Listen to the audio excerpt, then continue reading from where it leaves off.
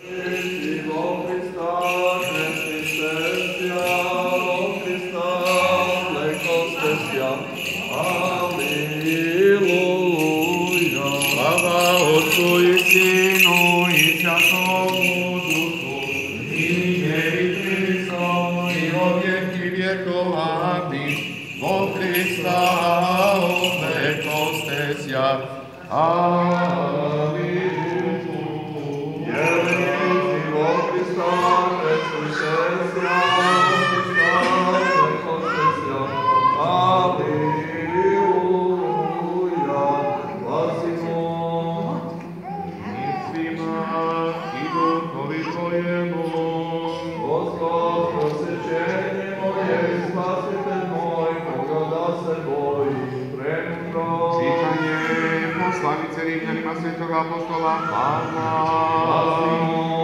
Braćo, svi koji se krsti smo Isusa Hrista, krsti smo se, tako se iz njihov nebo smo kroz krštenje usmrdali kao što Hristos ustali iz mrtvih, slavom očevom, tako i mi godini novom životu.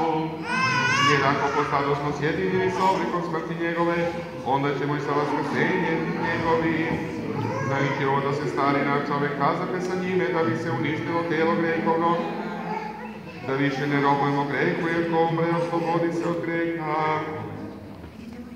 Ako li umresmo sa Hristom, verujemo da ćemo i živjeti sa njime, znajući da Hristos ustaš iz mrtvih više ne umire, smrt više ne vlada njime.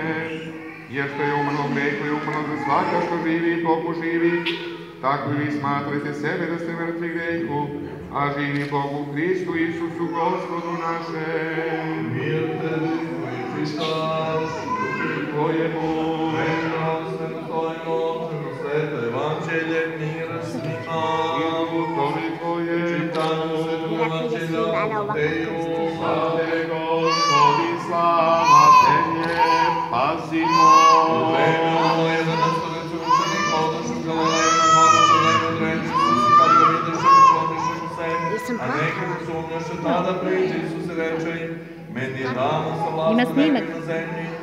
Šta gledam? zato idite na činiti sa narodima i mučenicima, krsteći ih u ime Oca i Sina i Svetoga Duha, učeći da drže sve što sam zapojedio, jer ja sam s sve dane, do sušetka sveta. Amin.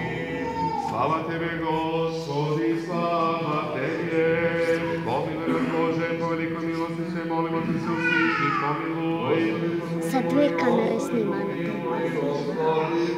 Još se molimo za preosvećenog arhireja našeg Jovane za Sufijsku bratu našu.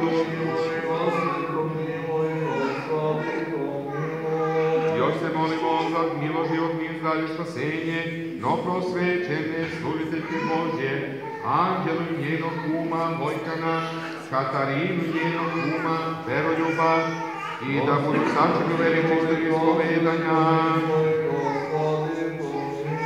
Dakle, pobožeš i vrši započnih i tiče dalje života svoga. Jesi milostivi čovjeko ljubi Bog i čevi slavu znosimo, mi si mi svete duhu sa vjeku vekova vekova. Amin.